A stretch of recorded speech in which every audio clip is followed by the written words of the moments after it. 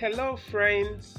Welcome back again to my channel and today we will learn this beautiful design. But before then please if you are new to this channel go ahead to subscribe to my channel okay? Thank you all for joining me in today's section.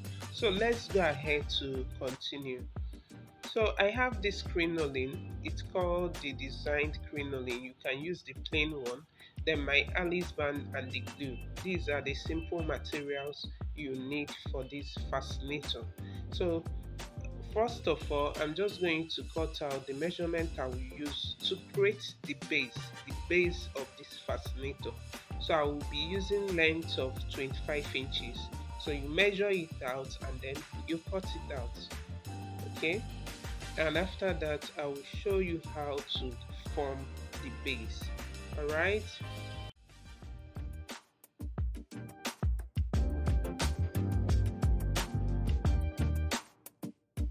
so right now I've cut it out and I'm just going to go ahead to tie the two ends of this crinoline together. I will tie it and then apply my fabric glue to it. It will help it to stick together. Know there is a way that crinoline does. You can you can tie it and after some time it will start loosening up. So i will advise that if you tie your crinoline go ahead to apply some glue at it so that it can stick together so that's what i'm doing right now and i will also repeat this for the other end before i will go ahead to use it to form the crinoline base for this fascinator.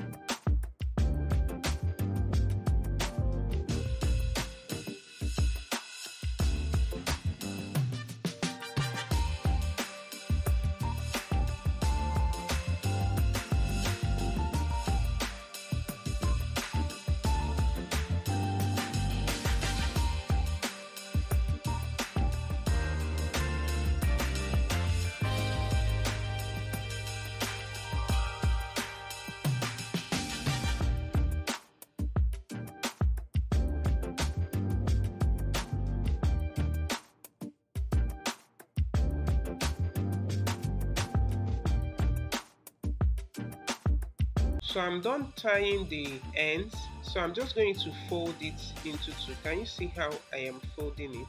Then I will pass a loose stitch. I will sew a loose stitch from one end to the other. So you watch how I form this base. It's very easy to make and very easy to understand. But if you find anything difficult to understand or confusing please leave your comment in the comment section and I will respond to you. Alright, so let's go ahead to form this crinoline base.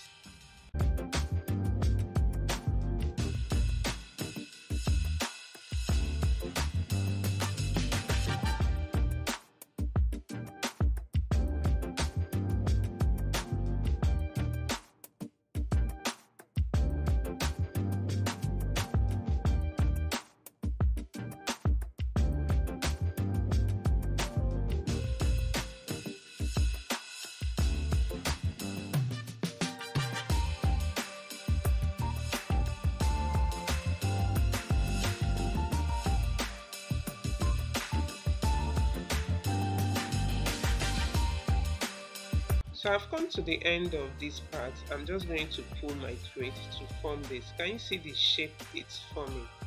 That's what will serve our as our crinoline base. Can you see that? I hope you find this easy. So when you are done doing this, make sure you stitch them together so that even without holding it down, it can just stay this way i hope you're enjoying this tutorial and if you do so please go ahead to like my video appreciate me and like this video. And if you are yet to subscribe to my channel please kindly do so. Alright? So you keep watching and you keep learning how I made the simple headpiece. So I'll be using this for the base. Can you see how it will look on the headband? Right now let's form the roses on the top of this base and I'm using measurement of 15 inches. So because I'm creating I'm forming three roses I'm just going to be cutting out these 15 inches into three. And when I'm done doing that I'll go ahead to form my roses. Keep watching and you keep learning. You'll see how I did all of this in this video alright